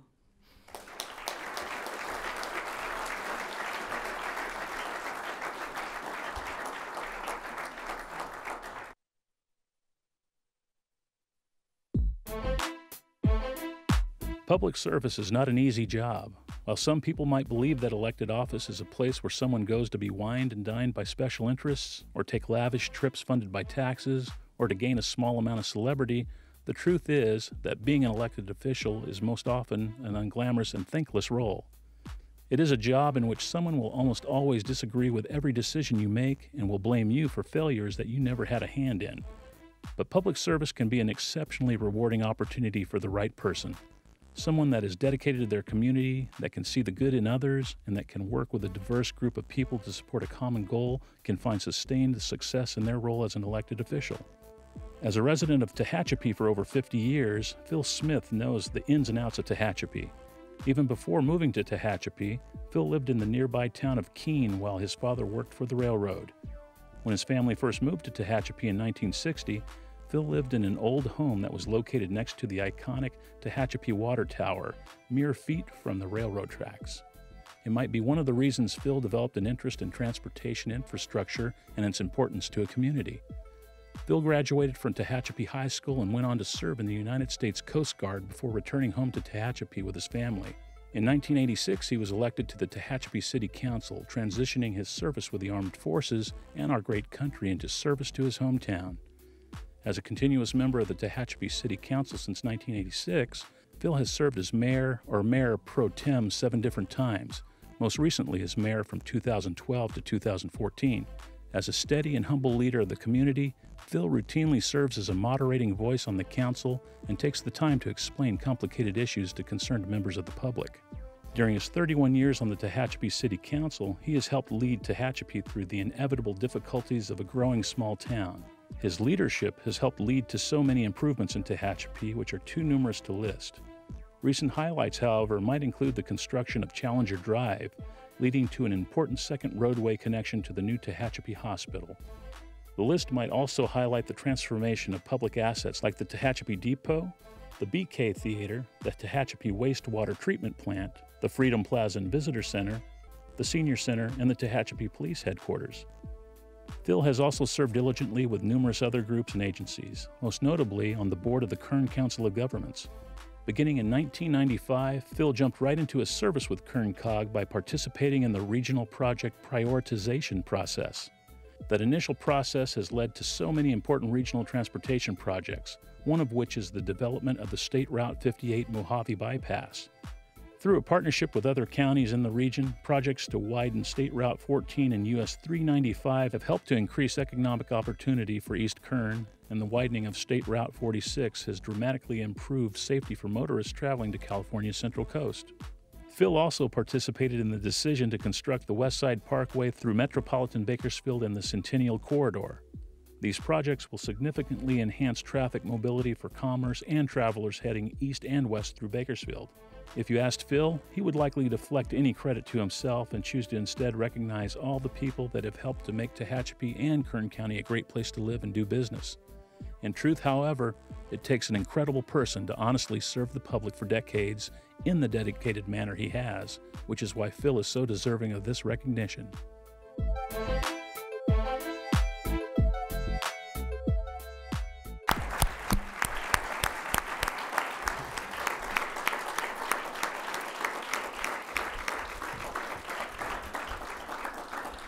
It is with great honor that we present this Ronald E. Brummett Lifetime Achievement Award to an elected official to our friend Phil Smith of Tehachapi.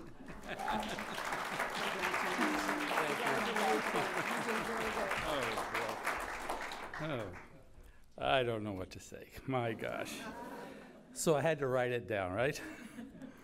You know, I received a call a few weeks ago from uh, Ahron Hakimi.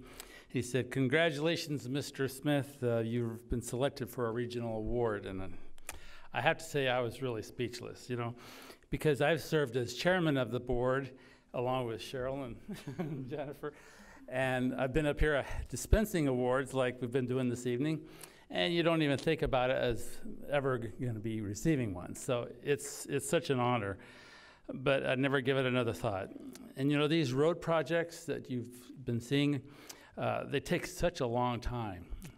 And uh, like 178, 58, 46, I remember going through the trials and tribulations of Route 46. We're starting to see 395 be uh, maybe completed. Route 58 most recently on the very east side of the county. If you've ever gone to Vegas or points east in the United States, there's a freeway that turns into two lanes in here in the United States, you know, and that's and so that's going to be completed. And I was very fortunate to be able to uh, serve with a group of uh, Inyo Mono counties, uh, Kern County, San Bernardino counties, and it was a regional effort to use monies from those counties in certain years that would help us down here in Kern County in certain years. And just the cooperations just between three or four different counties gained us a lot of uh, respect from Sacramento, uh, the, uh, the uh, Transportation Commission. So it's been very rewarding to be able to be just a part of that, you know, just uh, participating. Uh, these projects take a long time and I've been on here long enough, it's kind of interesting that you normally start a project when you're a board member and you vote on it, and then you read about it about 20 some years later. I got to see one finish up. the, tri- the trip program is one of them. So anyway, that's that's really something. Um, however, just like a lot of the folks here say, you, you can't take this award and without sharing it with some with other people.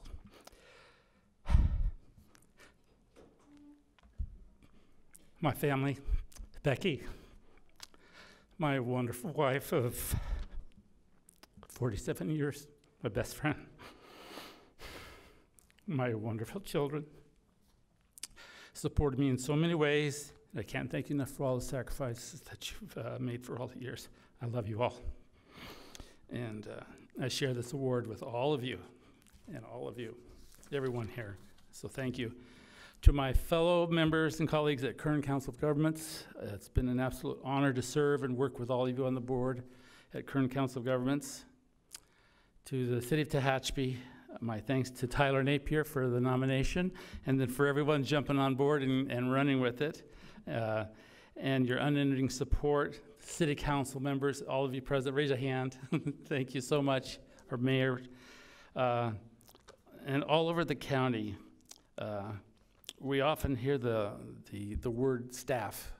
It's just a simple S-T-A-F-F, and it's just, you've heard it, every award here mentions their staff.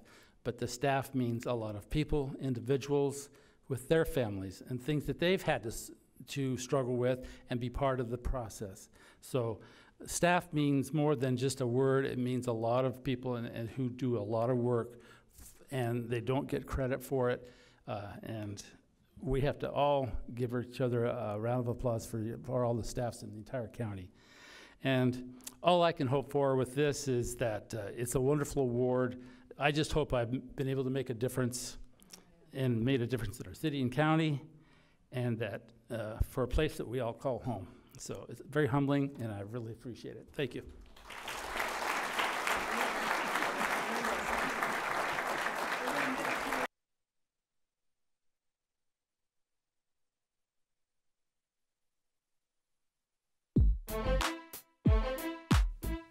Has a passion for aviation.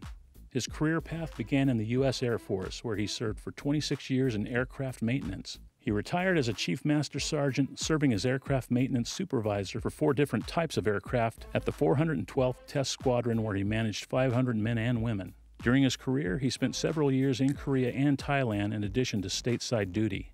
After retiring from the Air Force, Tom managed the California City Airport, where he developed relationships with pilots and others from Mojave. Those relationships were enhanced during Wells' service with the Mojave Air and Spaceport, and again when he became city manager. Tom managed finances at the Mojave Airport after he was recruited by former CEO Stuart Witt. During his time at the California City Municipal and Mojave airports and later managing California city government, Tom became something of an expert at obtaining government grant funds to help build infrastructure at the airports and the city. In all of his positions, Tom has kept a close eye on the budgets of the agencies he's managed and is involved with, including the Air Materiel Command Community Liaison Group, where the Air Force focuses on doing more with less. Tom sees his efforts in helping California City attract the medical marijuana industry to the city as one of his major achievements. Attracting the industry should put the city in a position to develop the infrastructure to attract other, more conventional businesses. That effort will help the city down the road, especially if the initial excitement of the medical marijuana business recedes over time. And Tom has also been instrumental in improving highway access between the city and Edwards Air Force Base, which will make transportation to and from a lot safer once it's completed. The 140th Street extension will build a section of road that will connect Rosamond Boulevard at the North Gate with California City Boulevard, eliminating an at grade intersection with Highway 58 and a bad curve that was closer to the city. He has also worked to help the city be recognized by Edwards and other communities in the region, including Lancaster and Palmdale, as full community partners. As a partner in a regional renaissance that has taken place in southeast Kern in recent years, our community leaders in the region have been working together rather than engaging in the petty infighting common in some other areas and at the national level. The effort to develop an integrated regional water management plan, IRWIMP, helped spur this effort. URWUMP encourages regions to work together to manage scarce water resources through planning that can qualify them for state funds to build infrastructure to achieve their goals. An URWUMP for the Fremont Valley Basin, which serves California City and Mojave, has brought together leaders in two communities, ending years of low level squabbling and increasing cooperation. Tom and Mojave Public Utility District General Manager B. Coy have played key roles in the effort, which continues to move forward. Involvement in the Greater Antelope Valley Economic Alliance, Antelope Valley Board of Trade, Kern Economic Development Corporation, and the East Kern Economic Alliance has helped put California City on the map and on the minds of businesses and industries looking for a new home to expand their operations. Tom has also developed and maintained great working relationships with other city managers in Kern County and elected officials throughout Kern County as well as at the national level. Tom retired from the position of City Manager of California City after eight years concluding in November of 2017. He remains active in the community with the California City Host Lions Club and other organizations within the community, and we are happy that Tom calls California City his home.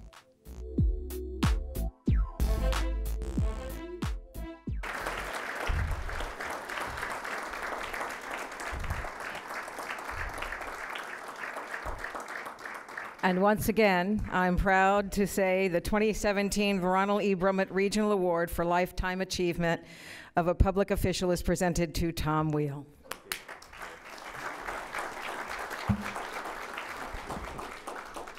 You know, I'm just happy to say that uh, I think everybody here has, you can never achieve an award if it wasn't for the people around you.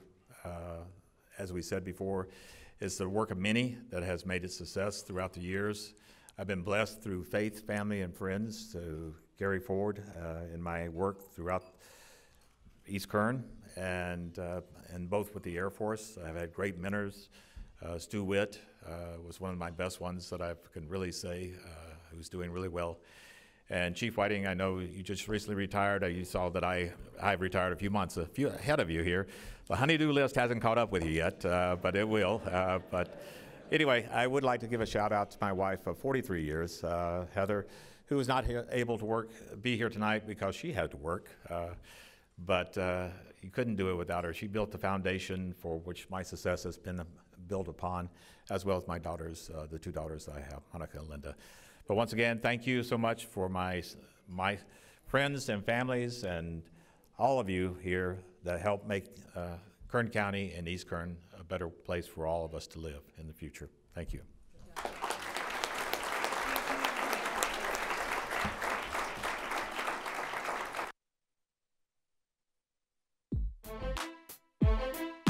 After nearly four decades as the face of the Kern County oil industry, Les Clark is retiring. As a resident of Taft for most of his life, Les attended schools in the area until completing his education at Fresno State University with his bachelor's in education. His basic knowledge of the oil industry was obtained from part time employment with Atlantic Richfield and Petroleum while he was attending school. Subsequently, Belridge Oil Company and Shell Oil Company employed him prior to assuming his position with the Independent Oil Producers Agency, or IOPA, of the San Joaquin Valley operation. IOPA is a membership organization comprised of independent oil companies operating mainly in the San Joaquin Valley. As the leader in oil production throughout our nation, you can imagine how large IOPA's membership was. Les served as vice president from 1980 to 1999 at which time he was promoted to executive vice president. He has been responsible in this role for reviewing and analyzing all regulatory issues and advising his members of what things they need to keep an eye out for in the upcoming years. He became the principal contact with all federal, state, and San Joaquin Valley officials and staff, and his retirement brings with it an end of an era with IOPA, who is also calling it a wrap and simultaneously closing its doors after 113 years of representing small oil producers. Throughout his tenure, Les has been involved in many local organizations as well as numerous county, state, and federal agency work groups. Among those are Governor Schwarzenegger's California Partnership for San Joaquin Valley, Governor Gray Davis's Central Valley Economic Task Force, Kern County Fair Board member, Interstate Oil and Gas Compact Commission, and Groundwater Protection Council, just to name a few. Throughout his 40 years of work, Les has participated in more than 60 of these agencies and committees in an effort to be a local voice at the state and national level for the small oil producers of our county. And Les has been recognized with numerous other awards for his hard work and dedication to his community. He has been recognized by the Kern County Hispanic Chamber as Businessman of the Year and received the Association of California School Administrators Golden Apple Award. He is a Hall of Fame member for not only Taft Union High School, but for Kern County Officials Association and West Side Little League. And these are just a few of Les's recognitions for his commitment to his community. But no one is able to give so much to their profession and the community where they live without the support of a wonderful family. Les has been married to June for 51 years, and together they have raised two beautiful daughters, Tessa and Carrie, along with one son, Les III, who is just as committed to his community as his father. Les and June's family does not stop there. They also have 10 grandchildren and one great granddaughter. Their lives are full, and regardless of Les's retirement, we are sure we'll see him at his grandchildren's activities and community events throughout Kern County.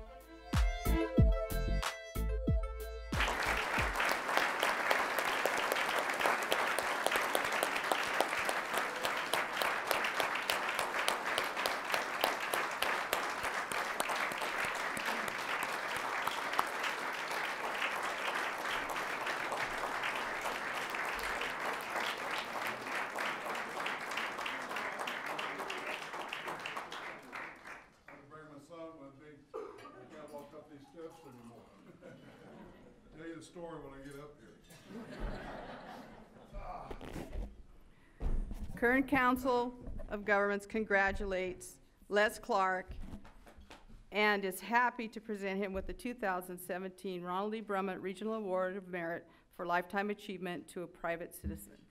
Congratulations.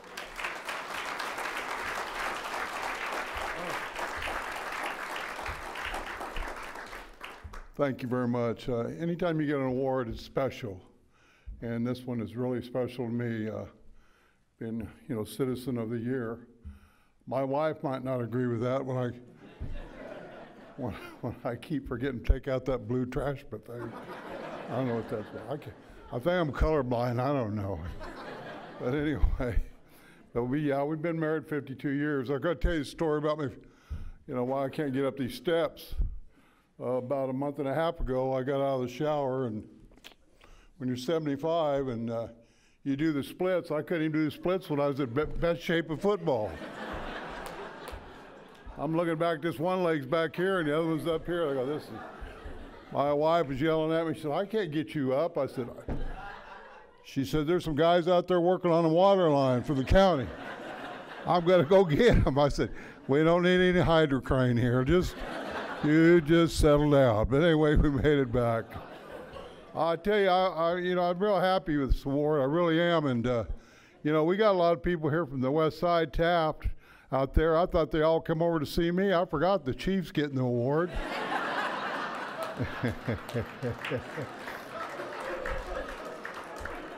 Congratulations, Chief. I, I appreciate you bringing along some folks. anyway, uh, thank you very much. And I know a lot of you in here. The award's named after Ron Brummett. Him and I used to work on some issues together back in the day. That's when I had more hair and didn't weigh quite as much. And I think Ron still had a bushy mustache. That was the ugliest mustache I've ever seen in my life. But anyway, uh, it's really a pleasure to receive the Ron Brummett Award. He's a good guy. Uh, I appreciated the work and the time that, we, we spent together. And to all you award winners, especially you folks that are out there keeping us safe, I really appreciate you. I really do. Thanks for the award.